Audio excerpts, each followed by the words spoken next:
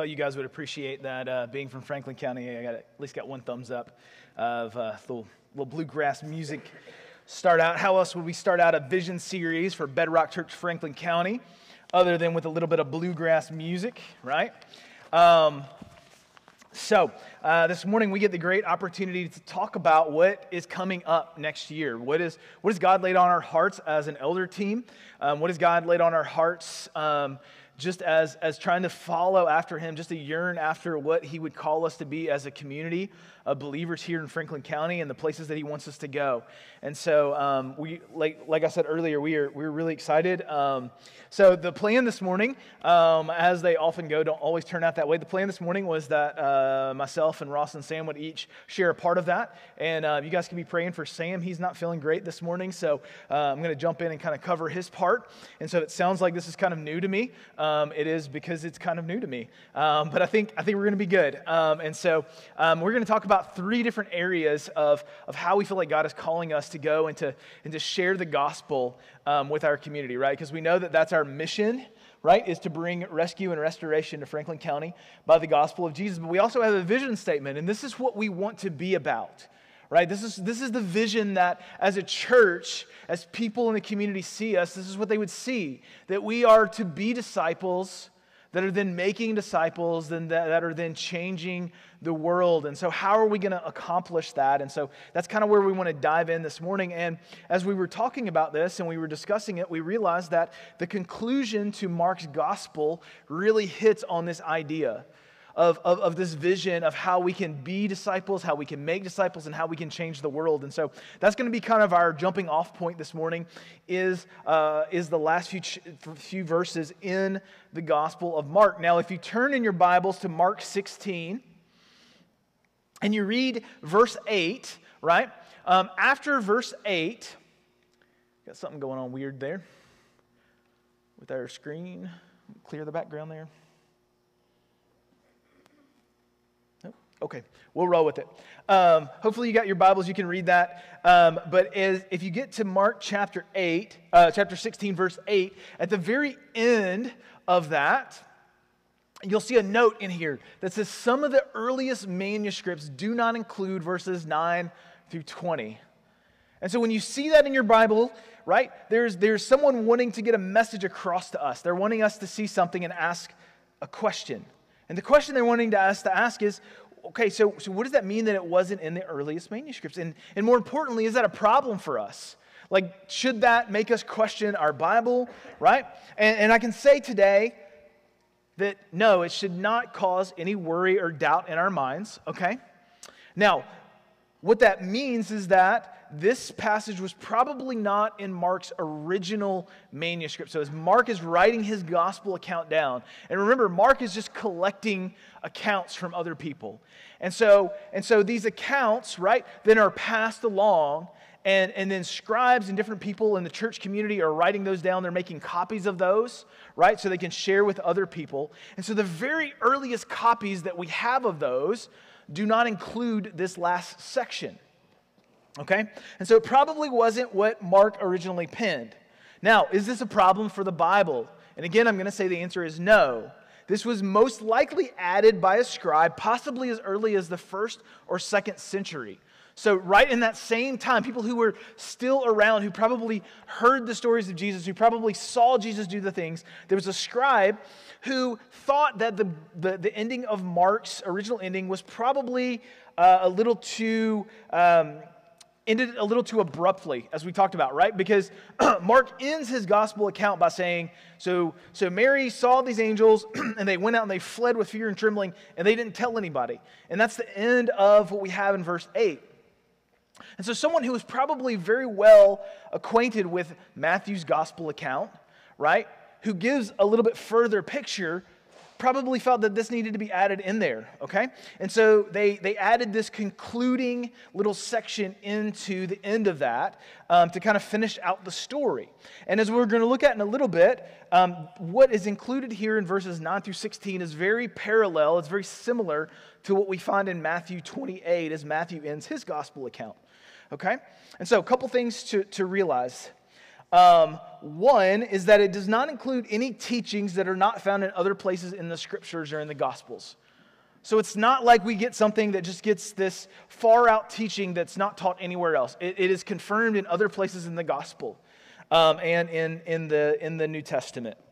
Secondly, it was passed down by the church fathers and it was also included in the canon. And so when they decided to canonize the scriptures, when they collected all of the different letters and they composed them together in what we call our Bible, right?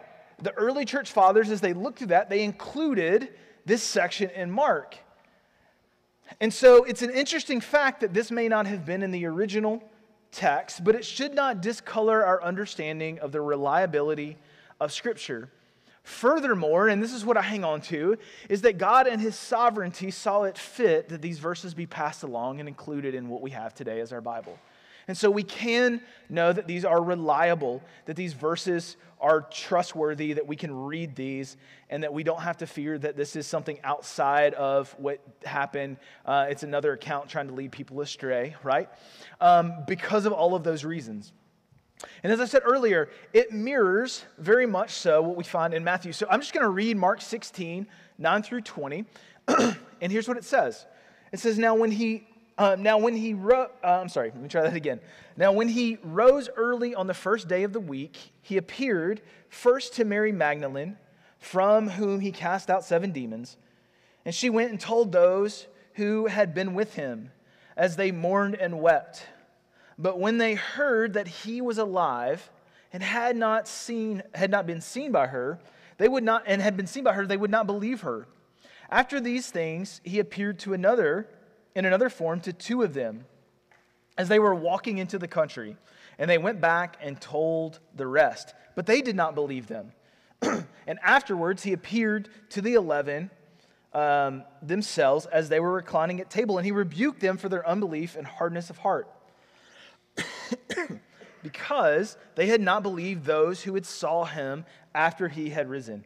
And he said to them, Go into all the world and proclaim the gospel to the whole creation.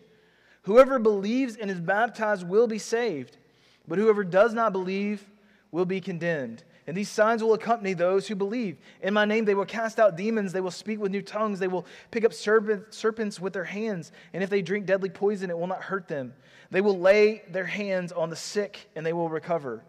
So then the Lord Jesus, after he spoke them, spoke this to them, was taken up into heaven and set at the right hand of God. And they went out preaching everywhere while the Lord worked with them and confirmed the message by accompanying signs. Okay?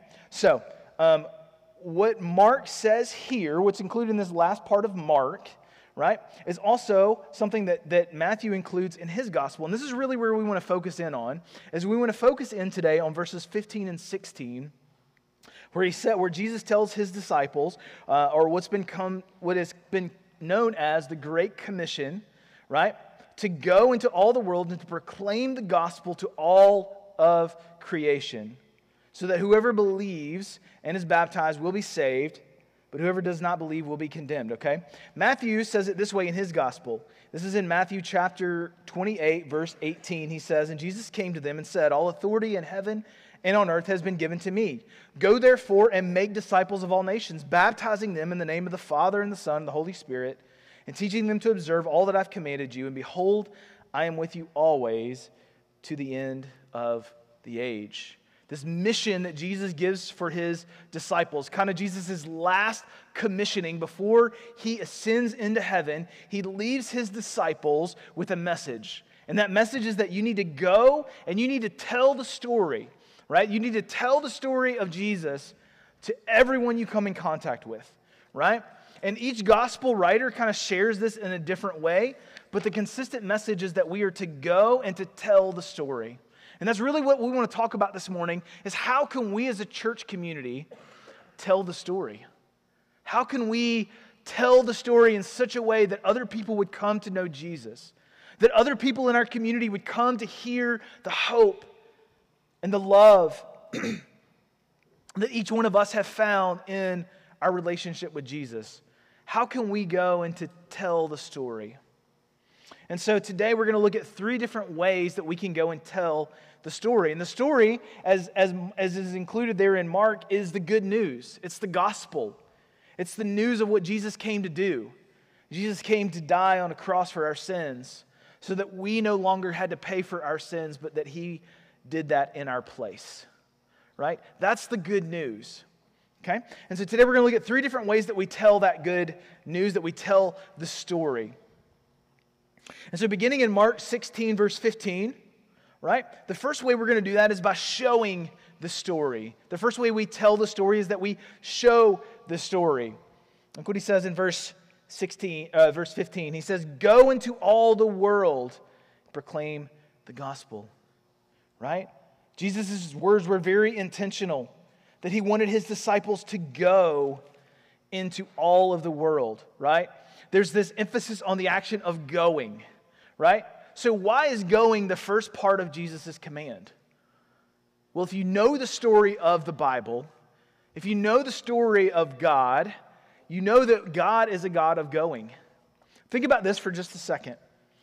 When everything started back in the very beginning in Genesis, God created the perfect world made, made a perfect world for the first two humans, Adam and Eve. And then Adam and Eve decided to break that relationship with God, right? By this thing that, call, that we call sin came into the world. And they decided they weren't going to trust God anymore. They were going to kind of do it on their own. And so they, they break God's command and they break that relationship with God. But then what is the very next thing that happens in the story? Do you guys remember? God comes to them, doesn't he? It's Adam and Eve don't go to God and repent that they were wrong. God comes to them. God comes to find them even in the midst of their sin. God comes to them. And what does he do? You guys remember that? He kills an animal to make a covering, to cover their shame of what they've done. Okay? Fast forward the story a little bit further. We get introduced to a guy named Abraham. And the Bible tells us there was nothing special about Abraham, right? But there was this guy named Abraham. And what does God do? God goes to Abraham to establish a covenant with him. And then a little bit later, he goes back with a couple of angels to confirm the promise that God made to Abraham. So we keep going in the story. There's another guy named Jacob. And God has this moment, this encounter where God goes to Jacob in a dream and wrestles with him. And this is where Jacob's name is changed. And then, of course, we can't forget about Moses and how God comes to Moses in this burning bush moment before he calls him to do this incredible thing. Again and again in the story, we see that God shows up as he, as he comes to his people. right? But finally, in the greatest picture of this, is something that we just celebrated in the story of Jesus God coming to humanity in human form. Emmanuel, God with us. So the point is this even when we don't seek God, He still seeks us. And aren't we grateful for that? Right? We think about your own story, right? Think about your own story. I don't, I've not met too many people who were just like, I was just looking for God. I realized that I was a horrible person and I was looking for God. Most of us, our story was, I didn't even realize how broken I was till God showed up, till God opened my eyes, right? And we see this throughout that we serve a God who goes, right? And we look at the life of Jesus as we did over this past year, we see that Jesus consistently goes to people in need. in Mark chapter 1, verse 14 and 15, we read this back at the beginning of last year. As Jesus begins his ministry, notice the words that Mark used to describe what he did. Now, after John was arrested, Jesus came into Galilee proclaiming the gospel of God and saying, The time is fulfilled, the kingdom of God is at hand. Repent and believe. The first step that Jesus made in his ministry was to go. He came to people to share the gospel. And so it should not surprise us that the first step of Jesus in going is the last command that he leaves with his disciples that we are to go. And Jesus wants us to follow his example, right? We, we all knew the story of Jesus when he calls his disciples, right? He calls a group of fishermen and tax collectors and zealots and common people. And what does he tell them to do? He says, Come follow me, so that then I can send you out to go to other people. Jesus was continually calling people to go, right? He was calling people to go. But the problem, though, with going is that for many of us, we have really good excuses of why we shouldn't go, don't we? In fact, I would go so far to say that for most of us, and I put myself in that category, right? That probably most of the time we spend more of our energy and effort focusing on why we can't go than thinking about ways to make a way to go, right? Like maybe we feel God lay, laying on our hearts that we need to go and have a conversation with somebody.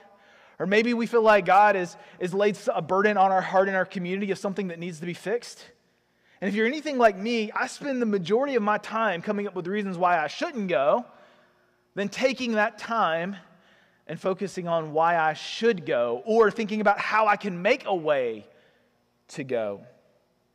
It reminds me of a story that I heard of this, uh, this past couple of weeks about a young man who was eager to grow in his Christian life. He was excited right? He was one of those, like, if you've ever had one of those church camp experiences and you come home, right, and you're just like on a spiritual high and you're just ready to, like, you know, share the gospel with everybody in Walmart. Any, any of you guys ever been there in that moment, right? And you're just on fire and you're just eager and you're like, Lord, wherever you want me to go, just send me, right? And so this young man, he got a piece of paper and he decided that he was going to write down a list of things that he was willing to do for God. And he made this list of things, and he showed up to church the next Sunday, and he went and he put that list on the altar. And yet, as he left that list on the altar, he walked away feeling empty inside. And so he decided to, to take that list back and he went back home and, and he started thinking about some more things that he could do, some more things that he could give up, some more things that he could do to, to, to, to honor God. And so he, he made a longer list and he added more things to the list. And he goes back the next Sunday and he puts it on the altar. And again, he just feels empty. And then he goes and he, he meets with a, a wise older pastor. And he tells the pastor what the problem is that he's having. He said, like, I'm making this list. I'm telling God everything I'm willing to do for him. And yet I feel so empty inside. And the pastor sits and thinks for a minute and he says, Why don't you do this? He said, Why don't you get a blank piece of paper and you sign your name at the bottom of it? And then you leave that blank piece of paper on the, on the altar. And so the next Sunday, that's exactly what this young man does. He takes a blank piece of paper, he signs his name on it at the bottom, and he puts it on the altar. And in this moment, a peace comes into his heart that he hasn't experienced because that's exactly what God wants for us. God doesn't want us to come to him with our list of things that we're wanting to do for him, even though that's great and ambitious. God wants us to be obedient and open to whatever it is that he's calling us to do. Around the Bedrock Network, we have this phrase that we use for this kind of moment of surrender. We, we call it putting your yes on the table, right? And what it looks like to put your yes on the table means that I put my yes on the table. And whatever it is that God's calling me to do, I've already given it a yes. And I can't take it back because I've already given God my yes. And I think that's the heart that Jesus has here as he's sharing these last commissioning words for his disciples to go to go. And Jesus knows the places that he's going to send them are not always wonderful places. In fact, uh, from what history tells us, all of his disciples, except for maybe one of them, ended up dying for their faith. It wasn't an easy task that Jesus called them to go, but yet he still called them to go. And you see, I want to be a person who goes and shares the story. I want to go and share the story because I know that Jesus came to show the world the story. And so, in the same way, I want to go and I want to share that story. And so, how can we do that? How can we do that? There are three areas at and among Bedrock this year that we want to focus on going, okay? And we want to start at home and we want to kind of branch our way out which is kind of a, a, biblical model of how we see the gospel going out. It started in Jerusalem and then it went out to the surrounding areas and going out from there. So, the first way we can do this, very practically, is to serve one another, right? And I know what's probably going through some of your minds. Well, that doesn't seem very glamorous. That doesn't seem very big in, in God's parameter, like, like serving somebody. So you're telling me that I go and help somebody in, in my church? Like, that's, yes, that's where it can start, right? That's one of the things that I love about having a gathering time on Sunday mornings is it gives us an opportunity to connect with people in our church community and hopefully to hear needs of people that are happening that God may want to be using you to do. So we can serve one another. Secondly, we can serve our community. And we have some intentional ways to do that, but there may be some other ways that God lays on your heart over the next year. A few of those intentional ways is, is a partnership that we have with Stepping Stones Ministry, which is our local soup kitchen. Bedrock Church has taken the fourth Wednesday of every month to go and to serve at the soup kitchen. And I'll just be honest with you this morning. I think if we got what Jesus is saying in this moment, that we wouldn't be we wouldn't be struggling to get volunteers to come and serve. We would have to make a waiting list for people to serve because this is one of the most practical ways, church, that we can go and share the story. It's just by serving a hot meal to people. We just get to go and be in people's lives. It's incredible. Another opportunity we have to, to meet needs in this community is, to, is through our Care Portal ministry. Care Portal, if you're not familiar, is just a connection between churches and social services, families in need in our community. And Care Portal is a bridge that allows us to connect with those families. And it gives us opportunities to meet those needs.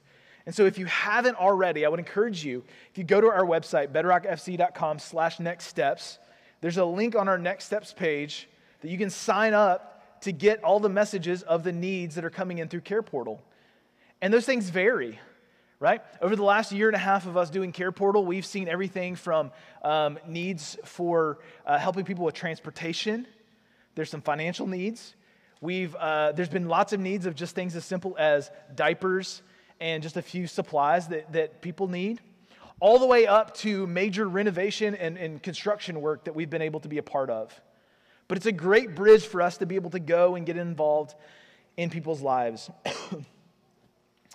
and then as we are out in the community, right? Hopefully this year we're going to be able to engage again more in our community with things like um, like the, um, like the Easter egg hunt that our community does and different community events that we get to be a part and just connect with people. In fact, there are people here this morning that are here this morning because like four or five years ago, we showed up to an Easter egg hunt and we blew up some balloons and we talked to people, right? they even raised their hands, right? Um, like those things matter and they're opportunities for us to connect in our community. But then also, it doesn't just stop in our community, but it needs to go out across our nation and across our world. And we have opportunities to support missions, right? We have opportunities to support some missionaries this year, right? We're being very intentional. We're supporting missionaries in Nicaragua. We're supporting missionaries that are going to the northern Caucasus and areas over in that area that, that are they're engaging in ministry there. And then we're also engaging with missionaries that are going, uh, planning to go to Jordan and to engage in uh, the Middle East ministry and areas over there. And so we have opportunities to support them. Um, one of the really cool things, so we got a new missionary couple, um, and we'll introduce you guys to them more. I'm hoping that they'll be actually be able to come one Sunday and, and you'll get to hang out with them. Um, we have a new couple who are going to be joining, uh, we're going to start supporting this year. Um, and their name is Joshua and Taylor, and they're going to Jordan. And the plan is for them this summer is they're going to go to Jordan. And so they're in the early parts of trying to get their funding together, get their plan together, get their team to go over and to serve over in this other part of the world. And so we could be a part of that. There's some needs that they're going to have coming up over the next six months to be able to get them onto the mission field. And we can be a part of that. We can be a part, we can be praying for them, we can be engaging with them. There's possibilities for us even this year. We've been talking with our church planter who's planning up in uh, Philadelphia about the possibility this summer maybe of getting a trip to go up to Philadelphia and to serve alongside another church plant and just to love on them and to serve people in a different community. And so I would just encourage you guys to get on board. Now, here's the crazy thing as we kind of bring this full circle, okay? So we bring this around full circle. Here's, here's the crazy thing. You remember a few minutes ago, I listed out all those people that God get, came to so we had like Abraham and Jacob and Moses. The ending of the story wasn't just that God came to them, right? He came to them, but then he also called them to go. So, Abraham, he, called, he came to Abraham, he made a promise to Abraham, but then he also called Abraham to go into a foreign land to follow him. Jacob, he called Jacob to go back to his homeland and even back to his brother who was threatening his life.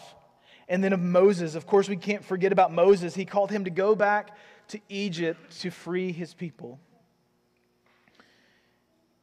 You see, whenever God calls us, whenever God comes to us, he also comes to us to call us to go somewhere else. And that's exactly what Jesus calls us to do. And so here's what we're going to do we're going to take a few minutes together um, and, and let's just talk about our perspective on going.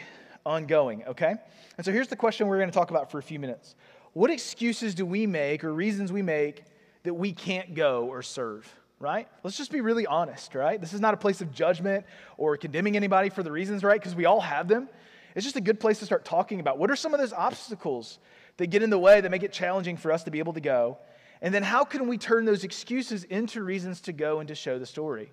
So, what are some things that we can do to allow us to be able then to go and to share the story? So, let's take a few minutes and talk about that.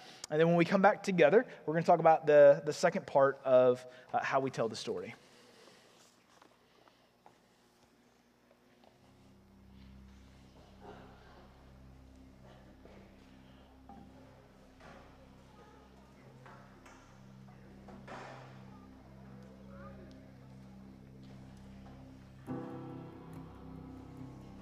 proclaim the gospel to the whole of creation. In Matthew's account of the Great Commission, the author uses a different word, uh, uses the word teaching instead of proclaim, but they have similar ideas. Uh, proclaiming or preaching is meant for non believers, whereas teaching is meant for people who already follow Jesus. So, either way, the words of Jesus are meant to be spoken and told to other people. So, we are called to share the story. In order to do that, we need to know what the story actually is, right? We spent all year learning about the words of Jesus. Um, but Paul also warns Timothy in a letter uh, and to us that we need to both give and receive good teaching based in the word, or we're liable to follow whatever teaching is easiest, or whatever version of the teaching we think our culture will accept. Paul says to Timothy in 2 Timothy 4, verse 2 to 4, Preach the word. Be ready in season and out of season. Reprove, rebuke, and exhort with complete patience and teaching. For the time is coming when people will not endure sound teaching, but having itching ears, they will accumulate for themselves teachers to suit their own passions, and will turn away from listening to the truth and wander off into myths. Man, we see that today as well, right? That people follow whatever's easiest. And so we need to know the word so that we can share the word with other people. At Bedrock, the proclaiming or the teaching of the word mostly takes place in our larger gatherings on Sundays. Um, on Sunday mornings, the elders, uh, Sam, Rust, and myself, introduce the word and different teachings from Scripture. Our method is called expositional, uh, meaning that we expose what is in the text. So we always start with Scripture, we start with the text as the foundation of what we are teaching from. In order to be good and faithful stewards of the text, uh, we spend time in preparation. We meet together Tuesday evenings, the three of us, and we review each other's sermons and provide insights and ideas and wisdom um, uh, to make the scripture more clear. Uh, and we're not perfect by any means, so we need that accountability, and we benefit from the wisdom of each other as we seek to uh, ex- expose the, the words of Jesus. This year, we are excited to be seeking truth by going through some different books this year. So, we are going to flash those on the screen quickly. Sorry, Aaron. So, we are going to be going through this year uh, the book of Titus, uh, the book of Jonah, the book of Proverbs, and the book of First John. And our hope is that as we seek truth and wisdom from Scripture this year, that it'll lead to transformation in our lives and how we help other people. Uh, as you guys know, we also want to learn from each other as we are teaching as well. And so our Sunday morning time, um, we rotate, uh, so it's not the same person uh, speaking every Sunday. That as elders, we are able to be poured into as well. Um, Uh, so we rotate whoever's speaking. Uh, and we believe in opportunities not just to learn from each other, but from the rest of the body through our group discussions throughout the message as well. Uh, at the end of teaching time, we want to encourage everyone to engage in practical takeaways. That's something we've talked about that as we are looking forward this year, that is something we want to emphasize. Um, that we are going to be challenging everyone with more specific ways to take home and practice what we are learning about each week, and then follow up on that each Sunday as well. We also know that learning from Scripture uh, doesn't end at 11:30 on Sunday mornings, or later, depending on who's speaking. Um, but we will be uh, providing a new Bible reading plan this year so that throughout your week you are learning from Scripture as well. And this year we are going through just the New Testament. So we really enjoyed being able to go through the Bible in a year, but we know that some of us found that difficult to stay on pace. It was three or four chapters each day. So this year we are just doing the New Testament. Uh, so that is a little bit more manageable, uh, as Rustin said, and is going to be really great to be able to meditate more deeply uh, on the story of Jesus and the power of his words.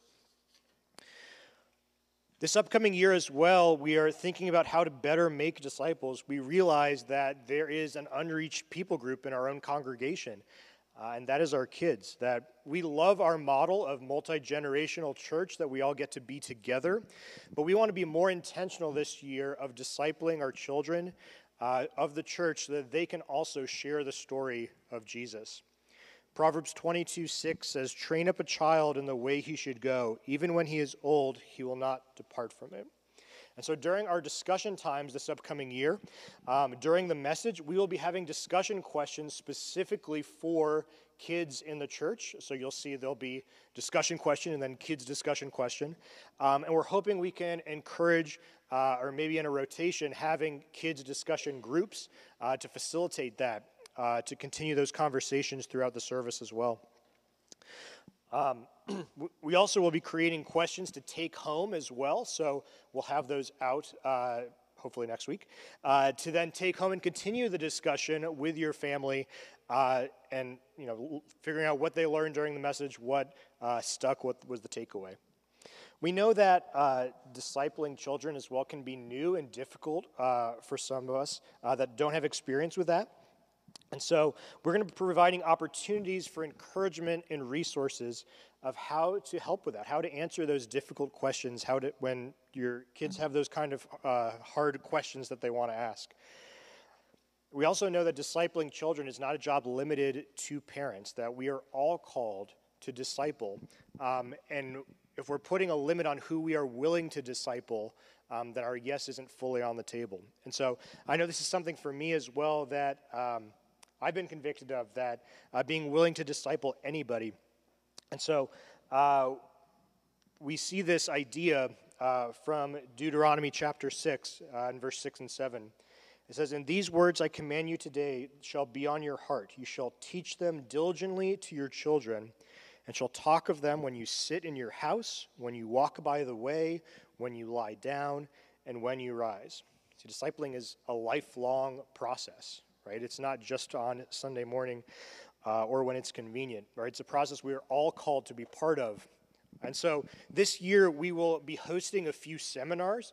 Um, uh, how to disciple children for those that are parents and those that aren't, because we are all called to be part of this um, to help raise up the next generation. So we'll be having uh, a couple seminars throughout the year of trainings about how to disciple different age groups from little ones to teenagers, as well as different topics of how to help kids that have been in trauma or how to talk to teens about uh, difficult issues uh, of our day. And so that's our goal. Uh, part of our vision this year is to be more intentional with our teaching and how we are discipling everybody in the church. So let's talk about it a little bit. We're going to have a discussion question.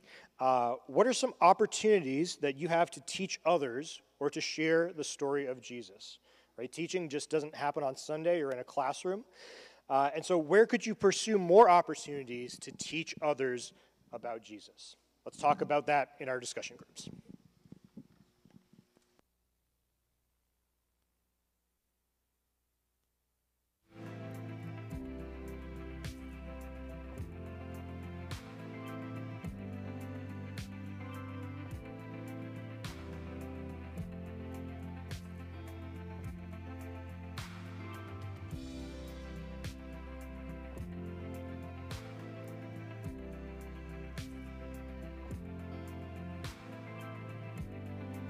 I don't know who he was referencing to. It must have been Sam.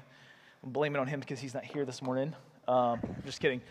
So he gave me uh, about 10 minutes to finish this last part. So we'll see if we can we can get through that. All right. So we've talked about um, how we tell the story, right? So we've talked about um, this, this idea of um, going and showing the story. We, we've talked about sharing the story, right? And then this last sec- section today, we're going to talk about the third way that we can um, tell the story is by living out the story, by living out the story. And so um, that's where we're going to uh, take the last little bit of our time together and talk about this. And this is, um, as we look at Mark 16 16, this is where Jesus tells his disciples, once you go out and proclaim that to the whole world, right? Whoever believes and is baptized will be saved, but whoever does not believe will be condemned. Whoever believes and is baptized. You see, the goal of this process of believing in baptism,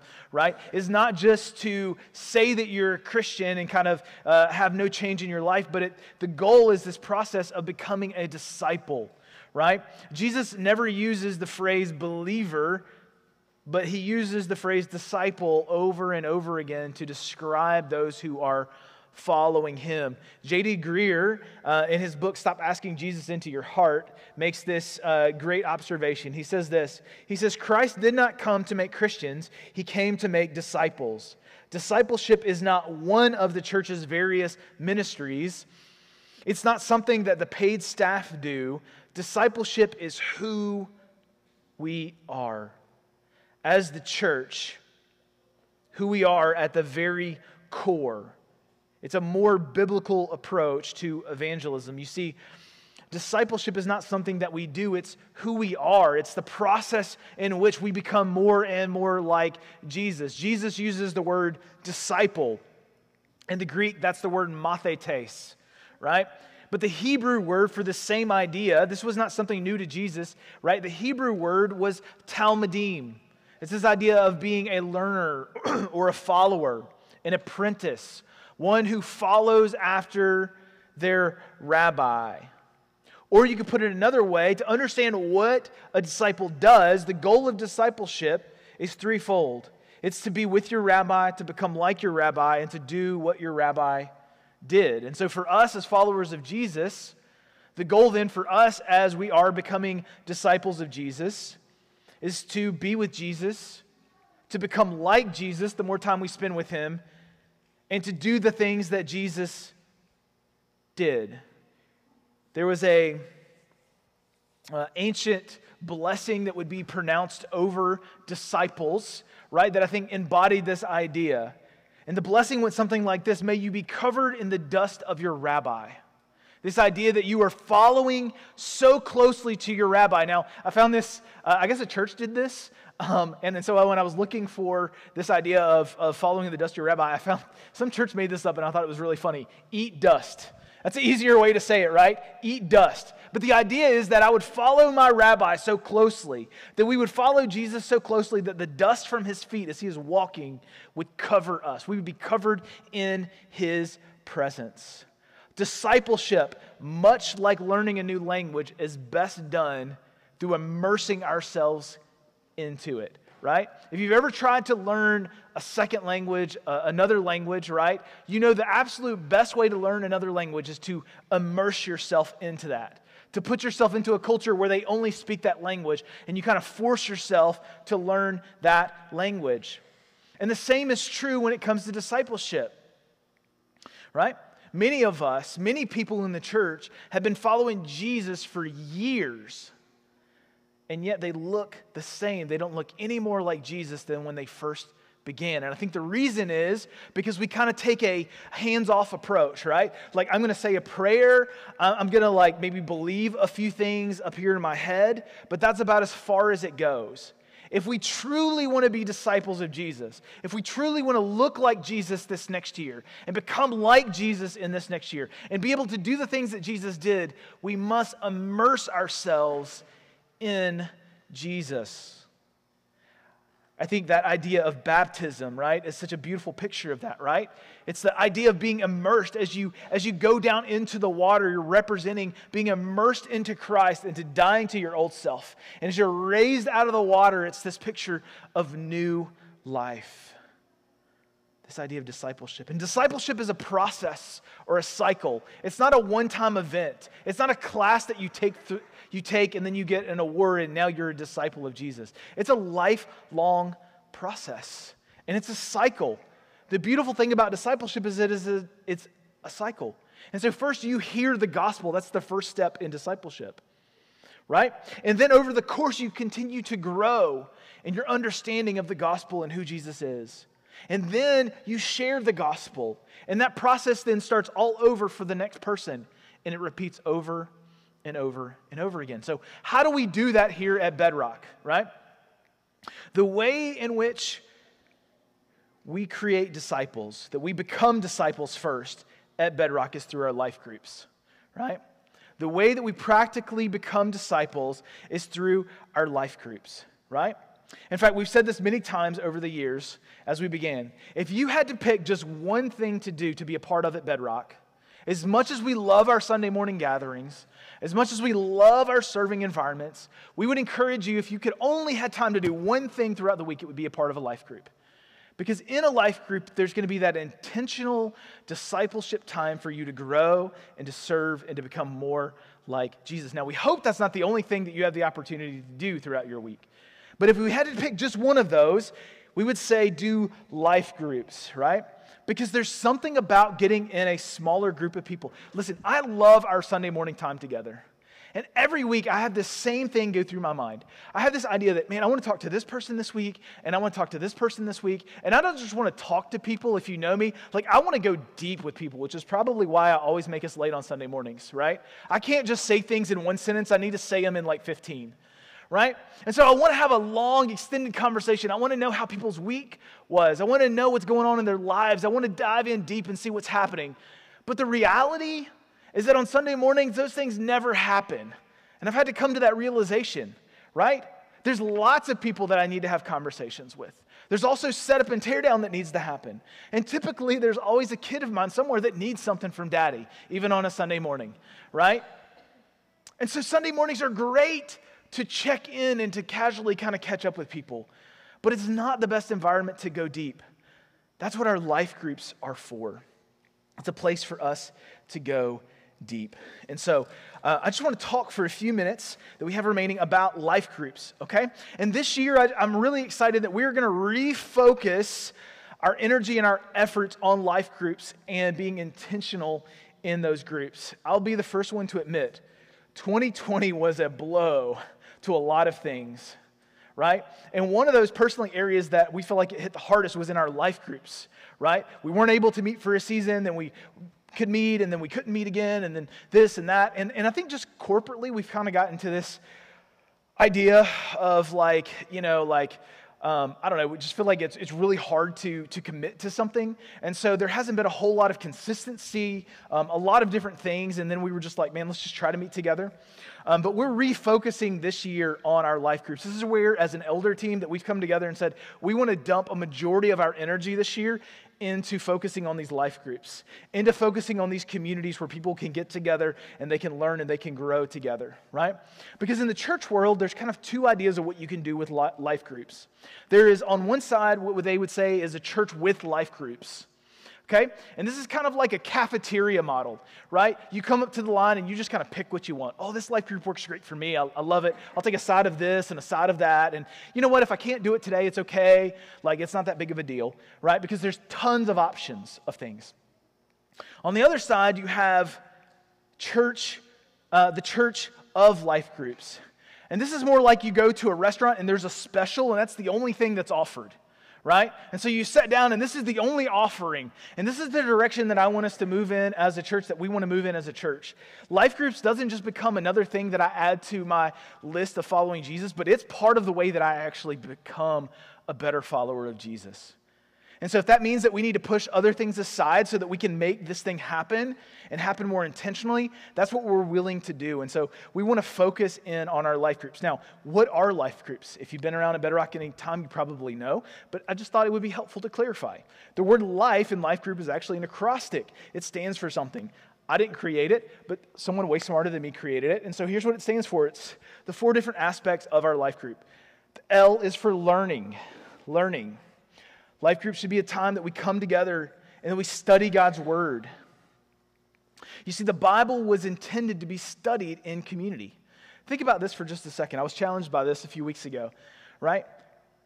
Up until the last, say, 500 years, how did people study the Bible? Think about it.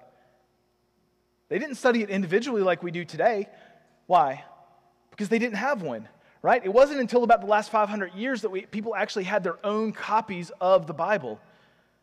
From all of Christianity past, they studied it communally. They studied it together. They would go to a synagogue. They would go to a, to, a, to a meeting, to a church together, because that's where they had a copy of God's word and they would study it together. And there's such beauty in coming together and studying. There's a perspective that other people have when you study through Scripture that can then enhance your own understanding of God's Word. So it's a learning environment. It's also an inspiring environment. It's a place that we come together and we should be encouraged and built up and inspired to follow Jesus more closely. One of the things that we're challenging our life groups to do this year is to take one of the weeks out of uh, their meeting and to intentionally focus on prayer. And we're going to start putting together some prayer guides that you can be praying for our missionaries around the world, that you can be praying for some of the needs locally that are happening in our community, so that when we come together, one of the aspects of coming together as a life group is that we're praying together, right? And not the, not the church prayer meetings that some of us are familiar with, where you get together and talk for 45 minutes about all the things that are happening and then you pray for five minutes. But like when we get together and we discuss for five minutes and we pray for 45 minutes for the things that are happening. Okay? So they're inspiring, they're fellowshipping. That's the F. It's an opportunity to share life together, to share meals together, to be in community together. That word fellowship in the original Greek is the word koinonia, and it means that you hold something in common, right? You hold something in common. And the only way I know how to have things in common with people is actually by spending time with them. And so it's okay on a life group night sometime just to hang out with your other life group people and see what's happening in their life and get to know them and to start to have some commonality and even maybe even do some things from time to time outside of the designated time is okay. So it's a fellowshipping group. Then E, the last part is equipping. Equipping. It should also be able to help us to follow Jesus better, more intimately, closely, right? To help us to grow in that. And so we are also um, challenging our life groups this year. For one, for one week um, out of the four weeks they meet every month, for one of those weeks to have some in, intentional accountability time, some intentional discipleship time. So, this can be a season where the guys are going to probably go in one space and the ladies are going to go in another space. And it's a place just to kind of get real about things that are happening in life, right? Because what we realize is that sometimes we're not as comfortable talking about some of those things in mixed company. And so, this is also going to be an opportunity. Maybe we can challenge one another to, to memorize scripture, to pray for some intentional needs and struggles that we're going through, and just some time to just be open and honest with some other believers that can help walk through that, some intentional discipleship time. And so, well, we're encouraging our life groups to adopt once a month to be able to have that kind of intentional focus time together. And so I can't encourage you enough to be a part of a life group over this next year.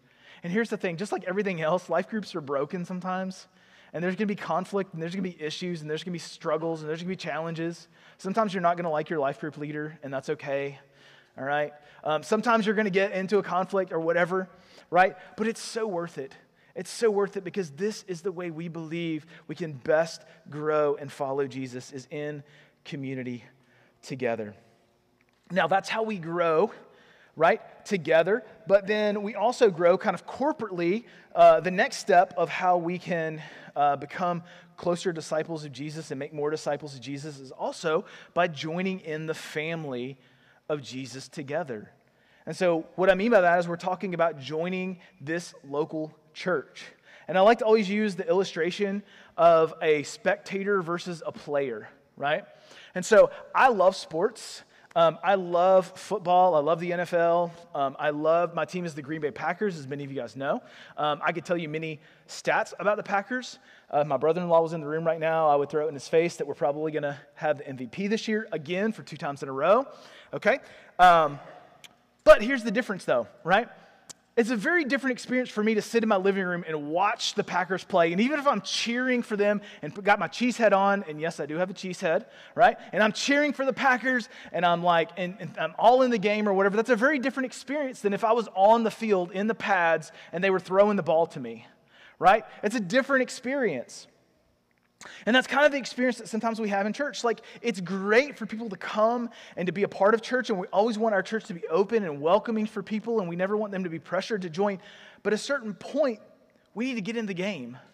And the best way that we do that is by joining in, by covenanting together with this church that this is the place, this is the community of people that I'm going to join in with and we're going to do life together. We're going to do ministry together. We're going to love this community together well, and I'm going to be committed to you, and you're going to be committed to me.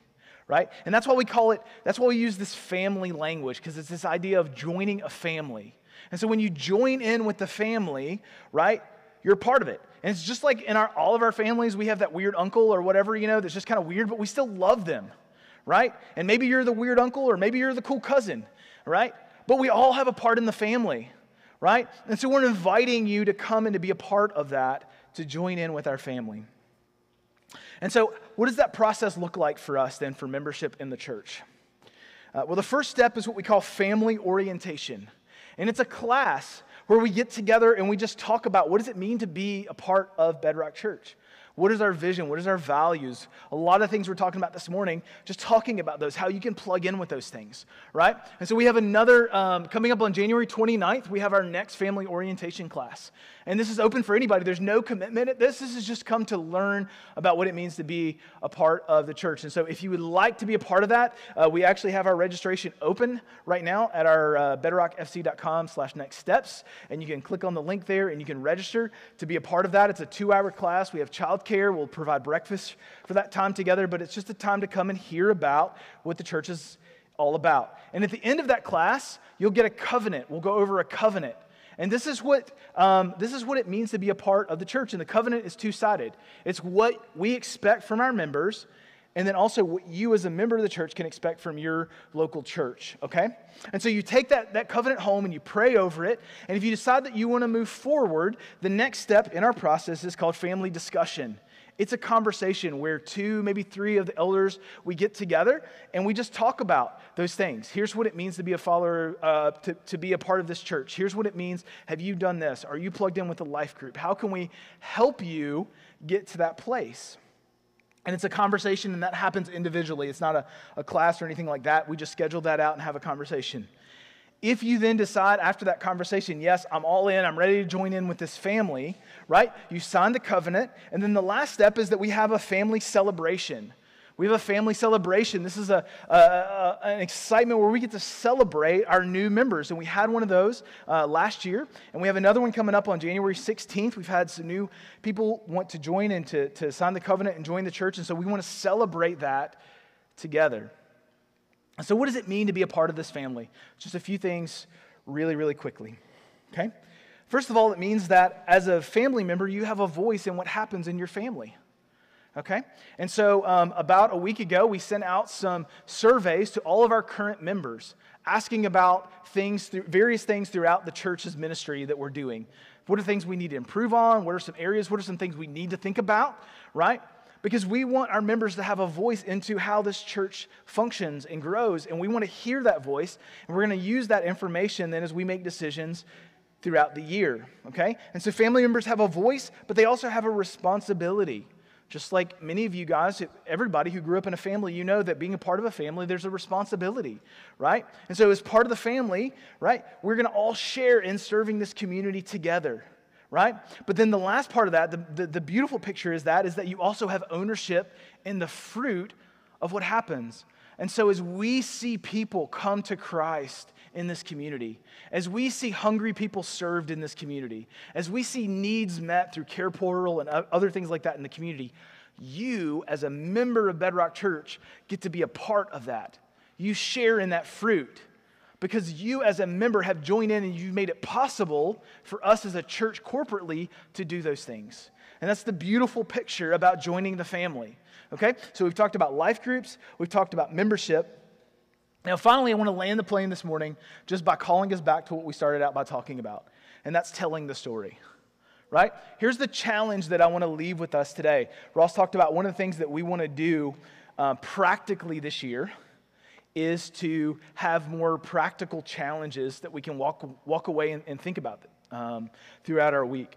And so this week, here's the challenge. As we think about the story and telling the story, we also know a big part of telling the story is actually just opening up our mouths and sharing the good news, right? It's not complicated, it's just hard sometimes for us to do that, right? And so here's where we want to land the plane. I want to challenge us this year to come up with a list of 10 people that we're going to be intentional to tell the story with, okay? 10 people that we're going to tell the story with. So, um, in your seats this morning, you should have found a big index card. Um, go ahead and grab those.